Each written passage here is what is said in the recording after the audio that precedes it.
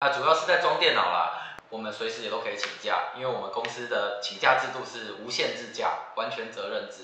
嗯，我觉得只要成为工程师，他们都有个特性。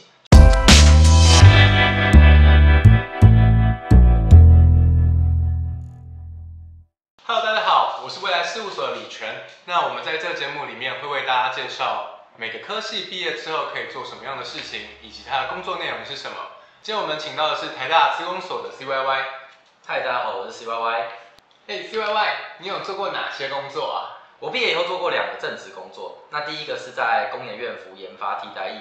那研发替代役结束之后，我就到我现在的工作，那是在戏谷新创开发 Omelette Arcade，一个手机游戏直播的 App。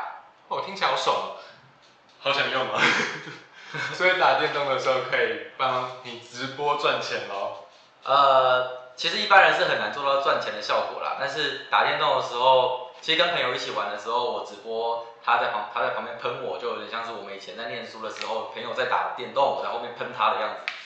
哦，除此之外，我以前念书的时候，我也有一个在呃外商银行 IT 部门实习的经验。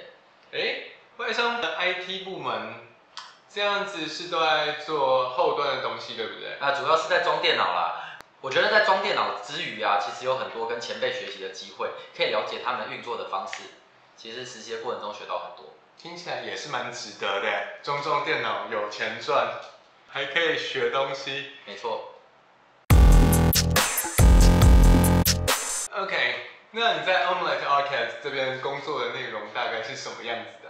好，这边蛮有趣的，因为我一开始进这家公司的时候是以 Android 跟 iOS 工程师的身份进去，但是因为我们那时候是新创公司，然后我们整个服务缺一个 Web 的界面，所以我那个时候就转移去写 Web 的部分。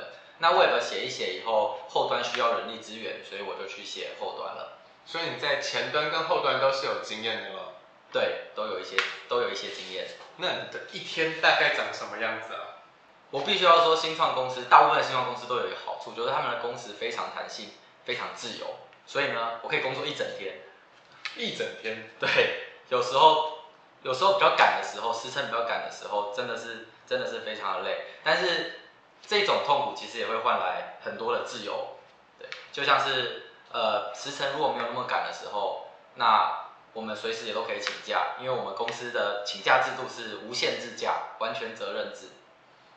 哦，完全完全责任制就是你只要闲着，你就可以不出席、不出现。其实基本上是不会闲着啦，不会不会有这种情况发生，不会有闲着的时候发生。因为发生的话，表示主管失职啊，也没有主，呃，对，可以，对，可以这么说。呃，所谓所谓弹性，就是说，如果我非常的想要去做一件事情。我就可以去做那件事情。好，例如说，我之前有一段时间，那我早上就会去冲浪，早上五点去冲浪，然后十点回来继续上班。然后因为弹，因为工时很弹性的关系，所以我就算稍微晚一点回来上班也没有关系，因为我晚上再做就好了。所以只要把它做完，这就是真正的责任制。对，跟传说中的上班打卡制、下班责任制不一样。对，不一样，不一样。然后我一天的一天的工作行程。其实大部分都在写程式，那大家也知道，写程式其实只有大概十趴的时间是你真的在打字，其他九十趴的时间呢，都是在这边讲，嗯，嗯嗯，然后一直查，一直查，一直上网，一直 Google，一直 Google，然后再再去哪里找，这要怎么写，你要怎么写，或者是构思。所以那个时候就是一直吃零食，一直变胖吧？啊，对啊，我现在真的很胖。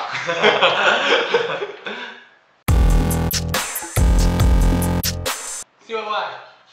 资讯工程师那么多，有时候会听到什么前端工程师、后端工程师，呃，UI、U 叉，呃，区块链，呃，做金流的，然后有那些会把护照收走的，他们到底是差别在哪里啊？呃，其实其实以技术来分，它主要是分成前端跟后端嘛，然后前端就是你看得到的东西，后端就是背后运算的东西。那再再多一点，其实还有资料工程师，就是拿到了大把的资料，我来处理，要怎样才可以推荐给你最好的产品？其实大家应该都有那种经验吧，就是我搜寻了椅子，接下来你的 Facebook 或者是 IG 上面全部都是椅子，对不对？这种这就是资料工程师他们会做到的事情。那之后还有，其实还有游戏工程师，他们就是专门写游戏的工程师。那还有区块链工程师，最近很热门的区块链工程师，他们就是专门专门去深耕区块链技术领域的工程师。那大致上可以这样子分，可是其实，呃，其实其实如果真的要分是分不完的，因为世界上的领域实在太多了。然后前端工程师其实又分了写 Web 的工程师、写网页的工程师，跟写 Android 的工程师、写 iOS 的工程师。那以前可能还有写一些微软风的工程师啊，Web Web iOS Android 那个差别在哪里啊？好，Web 跟 iOS Android 他们基本上写这些东西的语言是不一样的，那他们的系统、他们的限制其实也都不一样，所以你要除了学习不同平台的语言之外，你还要了解这个平台的特性。所以重点是平台给你的限制，而不是语言上面的差异喽。对，我觉得平台的限制大于语言的差异。那因为我之前写过 Android 跟 iOS，那其实，在转换转换是非常快的，只要了解只要了解这些主要的城市逻辑。但是要了解各个平台的一些规则，也是倒是要花一些时间。那可以帮我们介绍一下什么是区块链吗？因为我现在每次听到区块链，基本上都跟诈骗被连绑在一起嘛。做区块链等于诈骗。区块链，区块链这地方其实我没有那么熟，我也不是什么区块链大师。那我就我了解的，跟各位介绍一下我所理解的区块链。传统来说啊，资料就要存在一个一个人、一个公司的他所属的地方。那区块链呢？我们终于有一个机会，可以把这些资料存在公家的地方，存在这个世界上有参与这个区块链的所有电脑里面，所以并不存在一个人有任何一个公司行号或者是一台电脑，你可以直接篡改这个资料，所以这些资料它会变成非常的 secure，对，非常的牢固，所以所以所以在这样的架构之下，区块链它就有不可篡改的特性。那它到底怎么跟诈骗绑在一起的？因为很多的诈骗，他们背后就会说他要做什么事情，那其实那些事情根本就不需要区块链才可以达到，只是因为区块链这个词最近热度很高，所以他们就用这个区块链这个词来招摇撞骗。C Y Y，如果是你的状况的话，你也有办法做一个游戏工程师吗？嗯，我觉得只要成为工程师，他们都有个特性，就是他们有呃不畏惧学习新知的能力。所以我觉得，如果我要成为游戏工程师，就是给我一些时间，应该给所有的工程师一些时间，他们都可以做这些领域的切换。对，这样我可以很叽歪的说，当你跟他说，哎，叉叉，你可不可以做什么什么什么？他跟你说不行的时候，他就只是不想学吗？呃，因为学习其实都有时间成本嘛。如果你给他够多的钱，他什么都可以做。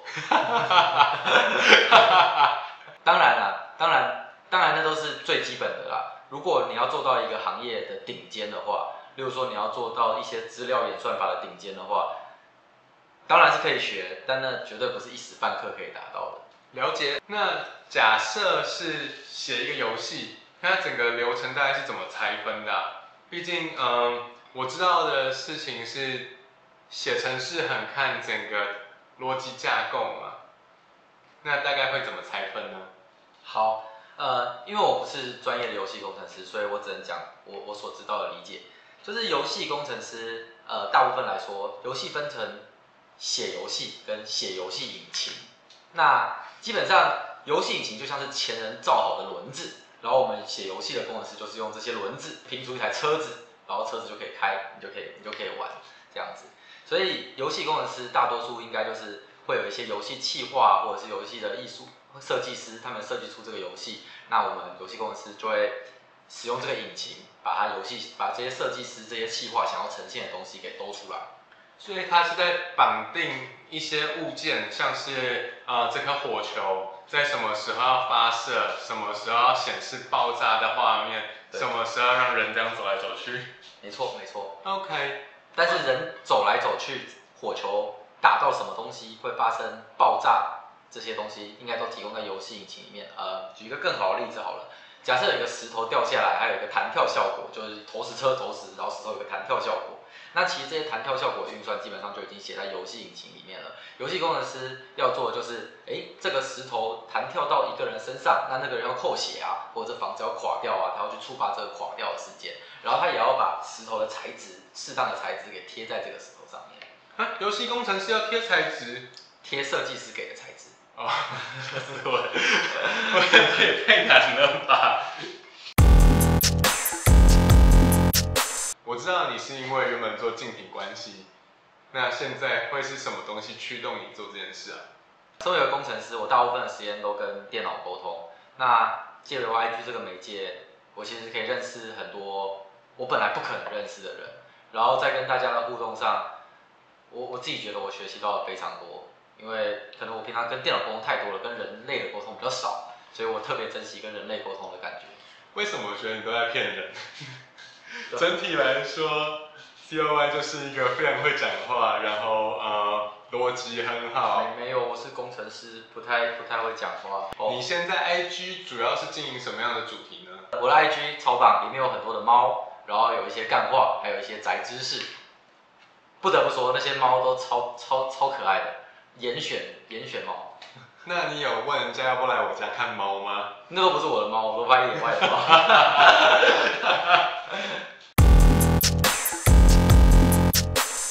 C Y Y，那你有认定最好的城市语言吗？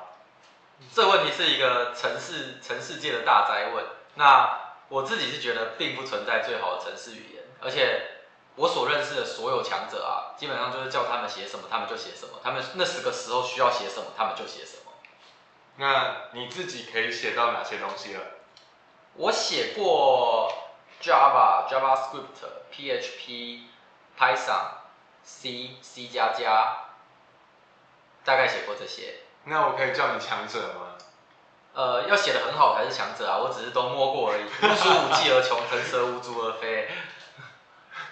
OK，那在结束之前，我最后一个问题想要问 C Y Y 这边。C Y Y，你觉得对一个资讯工程师来说，什么事情是最重要的？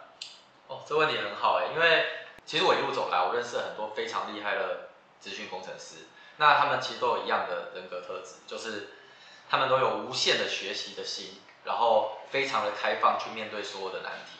就是他们遇到一个难题，他们不会是哎绕过就算了，他们常常会去追根究底，去完全理解这背后的原因。那其实一次两次这些累积，都会造就这些非常厉害的人。所以基本上是好奇心、热情、求知欲。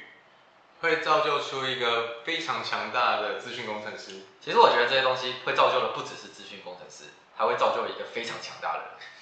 那以上就是 C Y Y 为我们带来资讯工程师在做什么的一些简介。那如果你喜欢我们的影片的话，记得帮我们按赞、订阅、分享、开启小铃铛，谢谢，拜拜，拜。